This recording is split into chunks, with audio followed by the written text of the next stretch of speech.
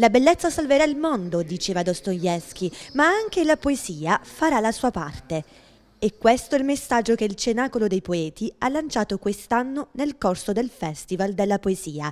È stata una decima edizione ricca di sorprese, tra musica, teatro, percorsi sensoriali, passeggiate alla riscoperta di Bitonto, laboratori e reading letterari dedicati al grande Pierpaolo Pasolini. È andata benissimo. È la prima volta che mettiamo in relazione i diversi attori protagonisti di questo festival. Abbiamo messo in relazione architetti, artisti, poeti, cercando in qualche modo di metterli eh, a loro agio, cercando di raccontare la città. Il nostro intento è quello di, di raccontare attraverso la poesia come la città può essere raccontata diversamente.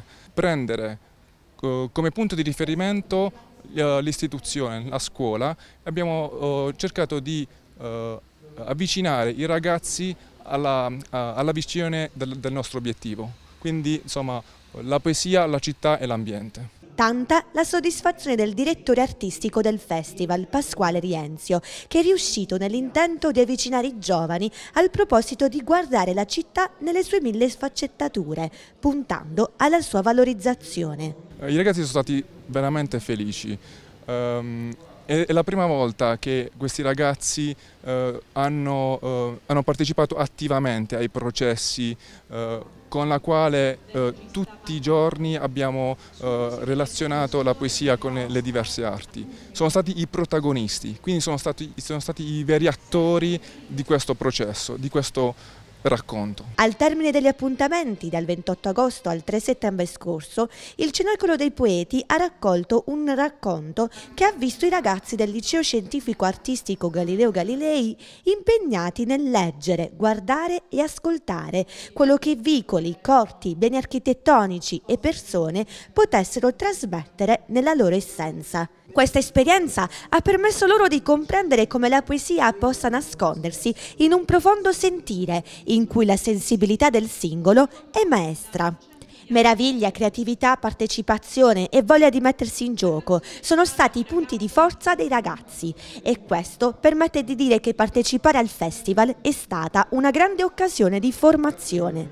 Sì, ho vinto una gara di poesia. Diciamo che questo festival ha dato voce innanzitutto a noi studenti del liceo scientifico che ci siamo messi proprio in gioco con uh, la, la poesia. Io scrivo poesie da circa un anno e ne ho scritte circa 44 quattro, eh, ma ne ho selezionate due più belle che mi hanno poi permesso la vittoria diciamo, di questa gara di poesia ed è stata veramente emozionante perché comunque non capita tutti i giorni di eh, innanzitutto di presentare al pubblico delle, dei propri elaborati, ma soprattutto questo festival Diciamo, è un valore aggiunto alla città di Bitonto perché eh, dà proprio l'opportunità a tutti quanti di, eh, di esprimere il, il, proprio ego, quindi di, diciamo, questo rapporto fra poesia, architettura e anche la bellezza della città di Bitonto ha dato sì eh, che appunto si svolgesse questo, questo festival, ormai giunto alla decima edizione. Sì, perché anche tra i nostri giovani ci sono delle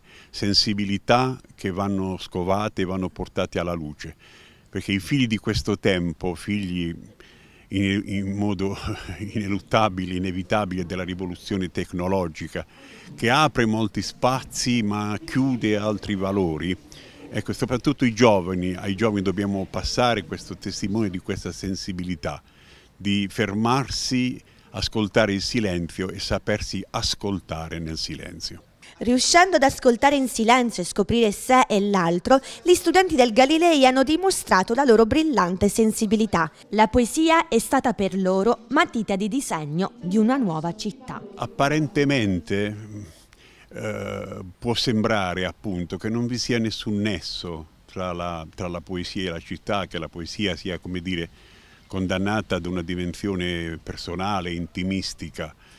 Eh, in realtà non è così, perché poi questo viaggio nel, nel, profondo della propria anima, come, da questo viaggio nel profondo della propria anima, come racconta Giuseppe Ungaretti nella sua poesia Il porto sepolto, il poeta riemerge e affida il suo canto, i suoi versi eh, agli uomini, alle donne, alla sua comunità.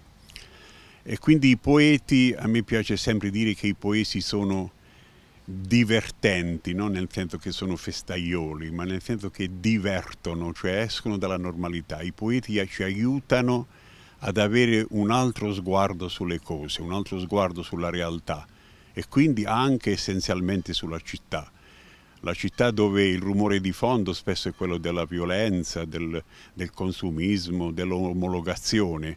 Ecco, i poeti ci aiutano a riscoprire l'anima profonda della città e a recuperarne la bellezza. La bellezza di Bitonto allora è ancora salva grazie a manifestazioni culturali come queste. A confermarlo il giornalista e scrittore Valentino Losito, che insieme alla ricercatrice docente Silvana Chiuz ha chiuso la decima edizione del festival nella meravigliosa cornice dei Giardini Pensili. Complice del successo anche di quest'ultimo appuntamento, la possibilità di coniugare la bellezza panoramica della città, l'arte, la poesia e la musica di Susanna Crociani e Marco Malasomma. I due artisti hanno tenuto un concerto sensoriale, Malasomma ha ammagliato il pubblico con suoni elettronici trasmessi con registrazioni ambientali e la Crociani suonando il suo sassofono.